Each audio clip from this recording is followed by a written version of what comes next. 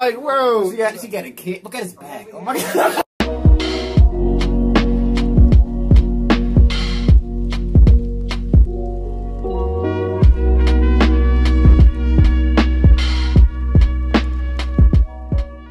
Hey, what's up, y'all? Welcome back to another reaction. And today we're going to be reacting to Joe Rogan. When did SJW culture start? Damn, man, I I don't really have an idea. When did SJW culture? I know I really like start getting introduced to it and like talking about it whenever whenever I was in high school. So about eleventh grade, it was really prominent. So I would say like 2016, you really start to see it be talking about more. Like like you see the news start to change and be affected by it now. Like like everything. But if you're gonna right into this reaction, make sure you hit that like button, subscribe, and share. If you're enjoying our videos, it's the road to 1K. Yeah, let's go. Uh, unfortunately, uh, I was I was reading that, and then I got on a flight, and I just wanted to zone out, so I listened to uh, this one on tape. Okay, all right, well, I'll tell you all about it. Uh, but the key thing is that that book, The Coddling the American Mind, was something that we wrote because Greg began observing this weird stuff happening in universities in 2014. It all starts in 2014. Um, most of your listeners have heard about safe spaces, microaggressions, bias response teams, trigger warnings, all that stuff. That stuff didn't exist before 2014. It just begins creeping in then, and then it kind of blows up in 2015. And so our whole book is an exploration of why. Why did, why did this happen?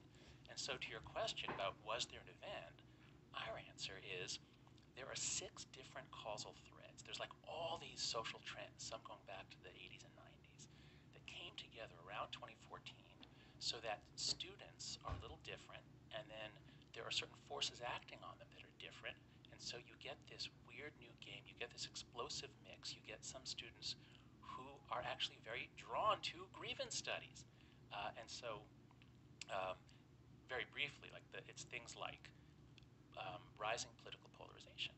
So left and right never particularly liked each other, but in the 70s and 80s, if you look at surveys done of how much you hate people on the other side, it's not that intense. It begins going up in the in the 80s, and then especially after 2000, it's going up very steeply. Uh, at the same time, university faculty, who've always leaned left throughout the 20th century, uh, but it was only a lean.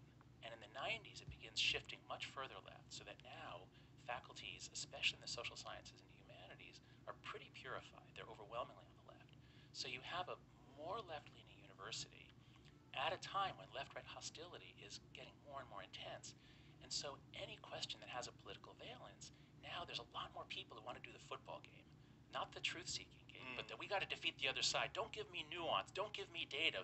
We know what we mm. believe, and damn it, we're gonna, yeah. you know.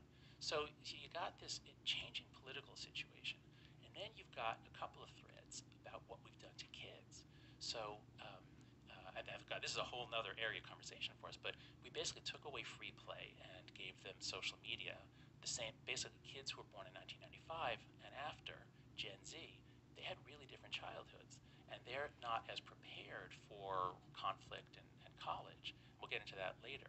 But you put all these things together, you get kids who are much more anxious and fragile, much more depressed, um, coming onto campus at a time of much greater political activism.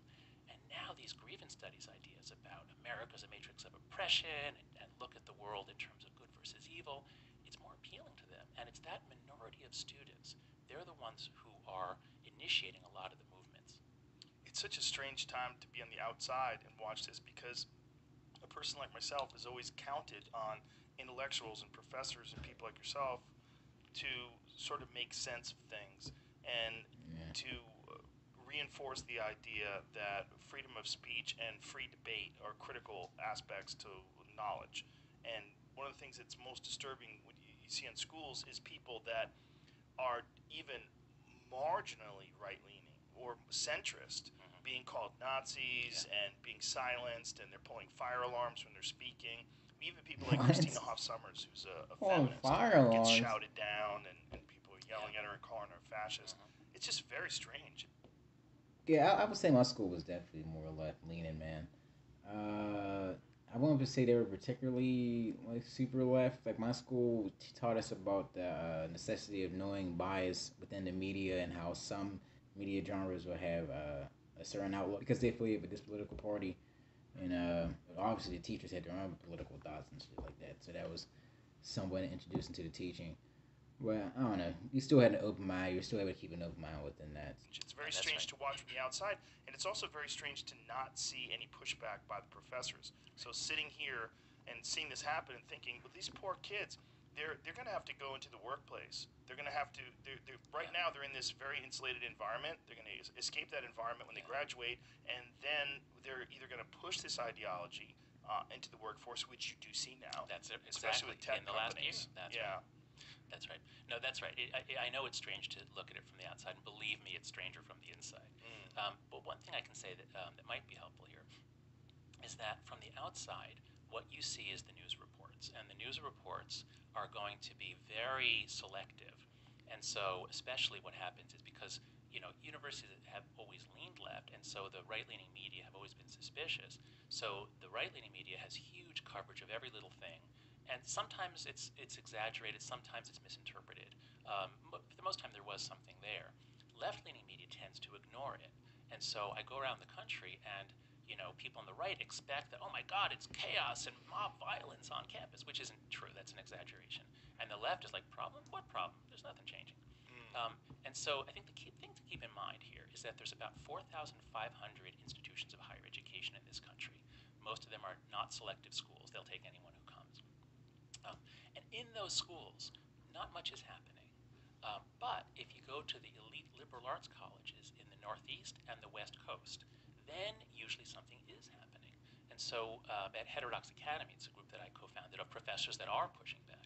It's bipartisan. We have as many people on the on the left as on the right. Um, we created a map of where all the shoutouts have taken place, and they're all right in the Northeast, or along the Pacific coast, like from you know Evergreen, you know down to you know Berkeley and all that, uh, and then a couple in Chicago. So in most of the country, this stuff is not happening. Most schools, the culture hasn't really changed much but at the top schools in general, it has. Um, so that's one thing to just keep in mind. There is a moral panic on the right about this, which doesn't mean that there's not something real. There really is a, a huge problem, but it's not as pervasive as it's sometimes made out to be. So is it akin to looking at violence in the news media? Like you, you when you read about violence in terms of robberies and murders, in general, you're not going to encounter much in your life. No. The, the world is a large place. Yeah. But Yeah. we Like- on these really bad moments. Yeah, it's a little bit like that, except that, um, you know, um, one of the reasons that we took child, we took free play away from kids, is that we were afraid that they'd be abducted, and that almost that was so rare. Uh, and but we got a lot of coverage of that in the 80s and 90s, and we changed our behavior because of that, and that was a gross overreaction. Yeah, man, we're gonna break this up into two parts, but this is very interesting, and all this is true. But it's crazy that this came around like 2015, I guess. But yeah, if you enjoyed this video, make sure you hit that like button, subscribe, and share, and we'll see you next time at LBB. Peace.